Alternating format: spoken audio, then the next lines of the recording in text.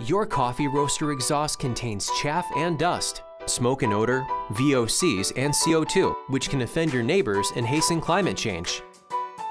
Cyclones only filter chaff. Everything else escapes to foul the air and deposit flammable materials in your cyclone and stack.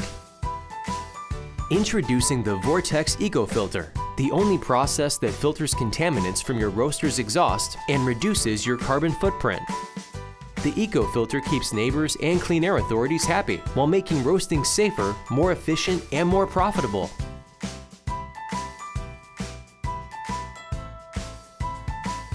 The VortX process takes the hot, dirty air from the drum and cooling tray and feeds them into the EcoFilter, where they are instantly cooled, causing the VOCs to condense to droplet form and be trapped in the water together with chaff, dust, smoke, and CO2. Then flushed out the bottom of the cyclone and down a spillway into a series of filters which remove the particulates and recycle the water.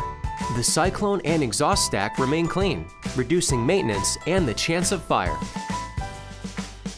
Call or click right now for information on how the VortX EcoFilter can keep your neighbors happy, reduce your carbon footprint, and improve the safety and efficiency of your operation.